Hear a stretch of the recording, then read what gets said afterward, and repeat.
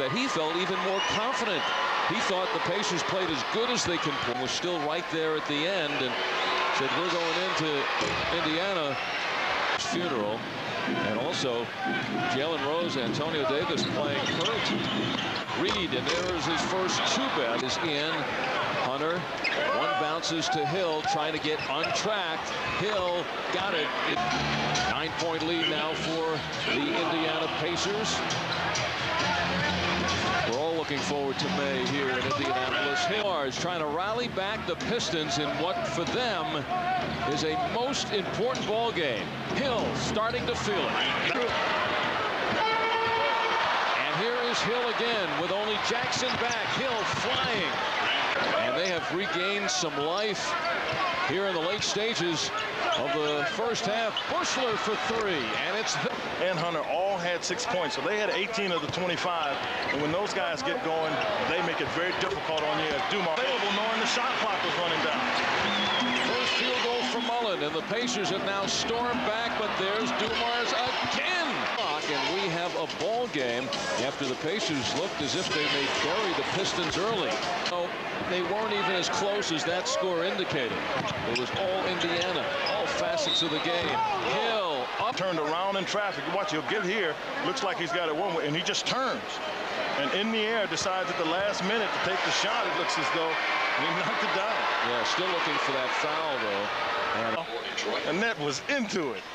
And uh, so was this crowd quieted down now by the comeback of the Pistons diving for it is Hill and he gets 11 points now for Davis and a 10-point lead again. Hill brings his way in and that's what you do as a playmaker. Grant Hill taking it strong. Davis coming for the block. Hill gets it up. Making that decision right now. Smits gets hammered.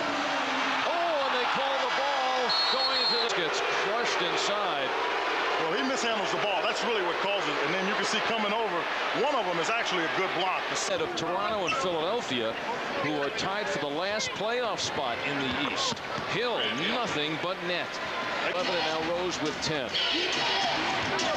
Eight-point lead for the Pacers. Hill swoops and five on the shot clock. In the hands of Hill. The turnaround, he's there. Hill with two. He's on the other team. And, and particularly after he's missed two. 18 on Monday. He's had career highs. Even Gentry says no matter what happened Monday, he will always go. 15 for Reggie. Four-point lead again for the Pacers. Inside a minute. Again it goes to Hill. Again the double team. 21 no seconds. They need it quickly. No fouls.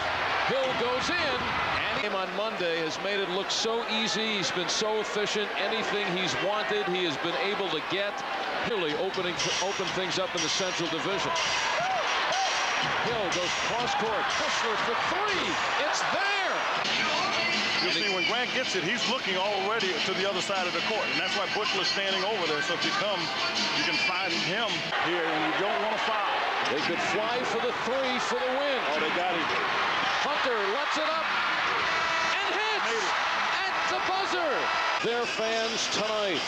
Grant Hill get the ball. He throws it. Travis Best tries to get back there, but gets there too late. As you see, Lindsey Hunter glass didn't call Bank open.